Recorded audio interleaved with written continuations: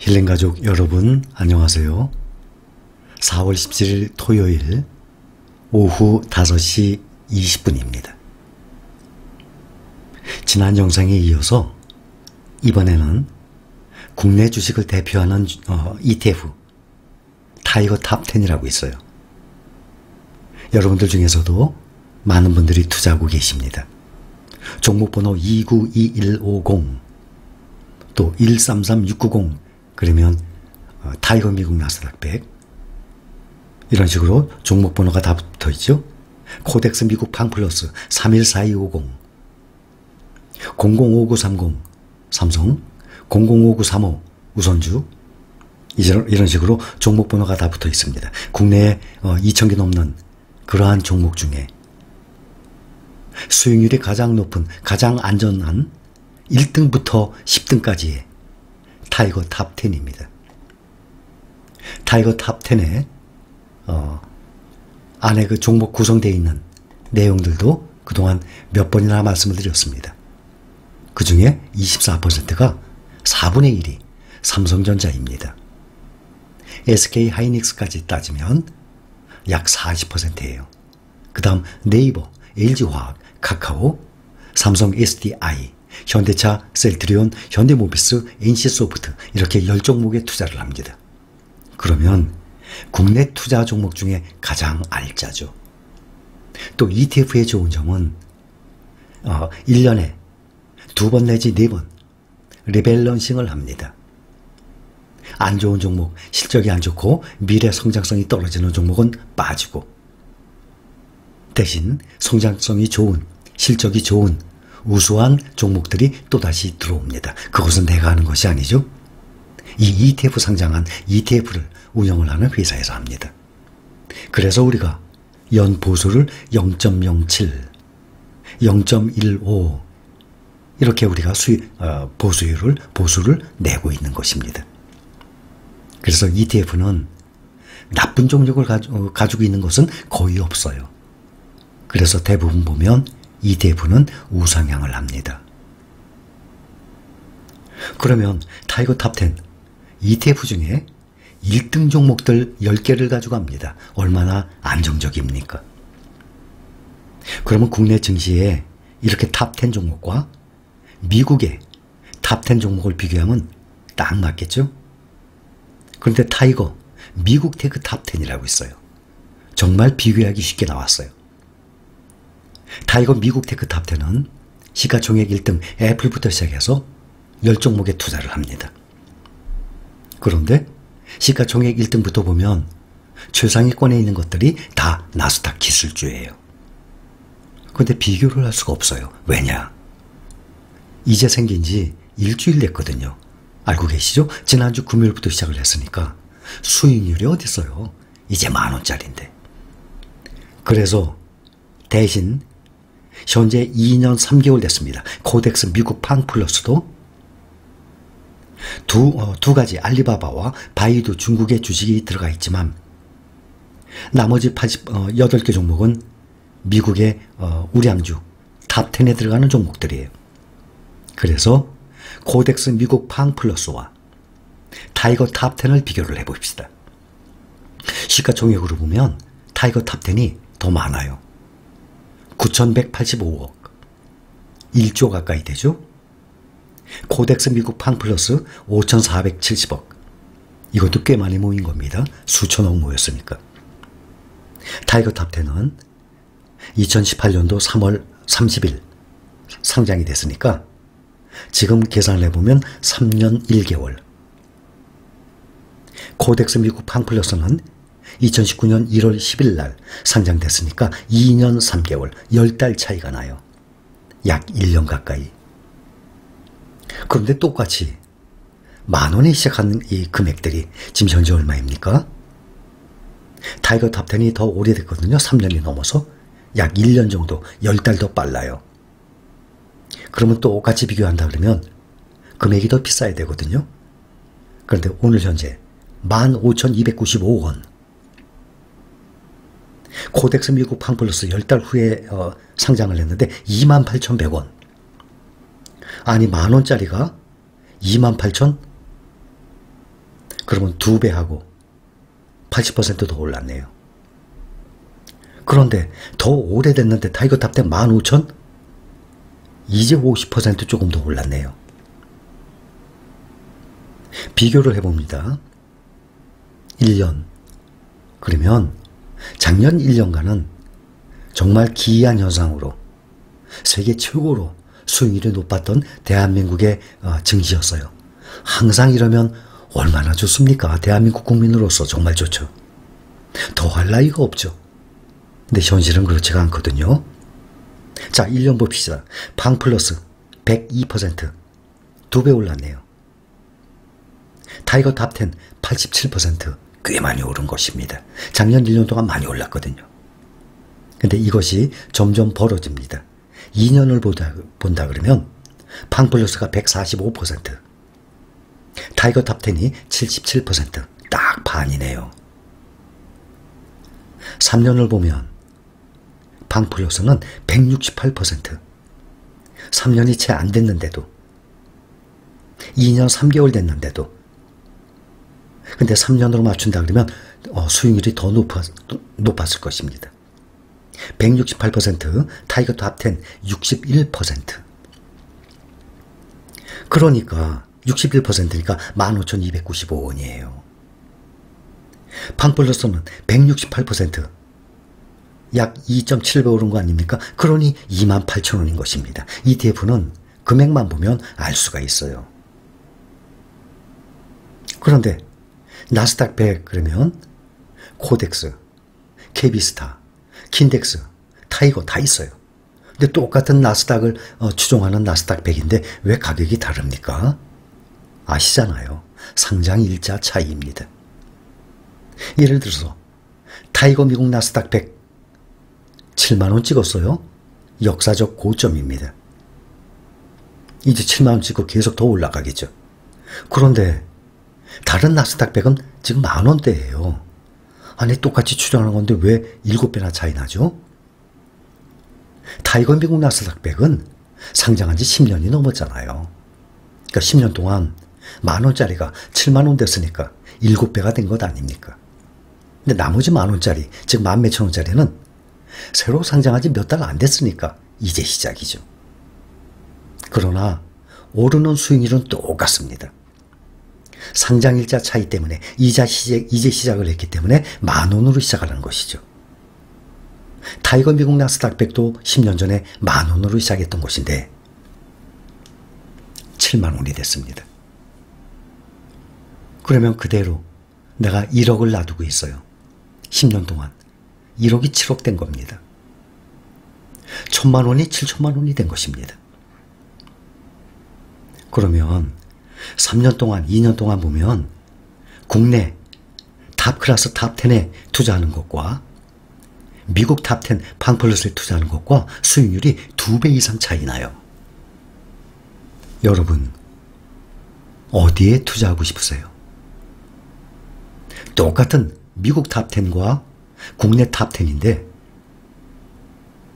두 배 이상 차이가 납니다. 수익률이. 어디에 투자하겠습니까? 자, 그러면 KODEX 200이라고 있습니다. 전에도 설명을 드렸어요. KODEX 200은 국내 1등부터 200등까지 약 200종목을 가져갑니다. 그것보다 TIGER, 어, TIGER TOP10이 훨씬 낫죠? 우량주 10개만 딱 가져가니까. 비교를 해봅니다. 3년 동안 FANG플러스가 168%라 그랬어요. TIGER TOP10은 61% 올랐습니다. 근데 KODEX 200은 TIGER TOP10의 반이에요. 37% 올랐습니다. 10년 동안. 무슨 얘기냐? 만 원이 13,700원이라는 뜻입니다. 3년 동안. 그런데 KODEX 200 우리나라 ETF 중에 1등이에요. 시가총액. TIGER 200도 똑같아요. 시가총액 2등. 그런데 4조 5천억, 2조 3천억 이렇게들 들어가 있어요. 이 많은 사람들이 이렇게 팡플러스나 나스닥 100과 국내 종목과 이렇게 두 배 차이 난다는 것을 모르는 겁니다. 많은 사람들이 의외로 모릅니다. 알면은 엄청난 자금 이동이 될 것입니다. 투자자 선호하는 ETF TOP5가 있어요. 국내 개인 투자자들이 선호하는 ETF TOP5 궁금하죠? 봅시다. 우리나라의 1등, 2등이 삼성, KODEX와 미래에셋 TIGER입니다. 미래에셋 1등 TIGER 미국 나스닥 100이에요. 개인 투자자들이 선호하는 ETF. 삼성에서는 KODEX 미국 FANG 플러스입니다. 둘이 1등이죠? 미국의 지수를 따라가는 것입니다. TIGER 미국 나스닥 100이 지금 어, 7천억 넘었을 겁니다. KODEX 미국 FANG 플러스 5,500억 정도 되는 거죠. 2등을 봅시다. TIGER China 전기차. 또 삼성에는 미래에셋 1등이었던 TIGER 미국 나스닥 100. 자세히 1등부터 5등까지 보세요. TIGER 미국 나스닥 100, TIGER China 전기차, KODEX 2차 전지 산업, TIGER 2차 전지, 또 TIGER KRX 2차. 보면은 미국의 기술주와 중국과 우리나라의 2차 전지입니다. 그렇게 함축되죠? 그런데 삼성증권의 맨 어, 마지막에 다섯 번째 보면 KODEX 200이 들어가 있습니다.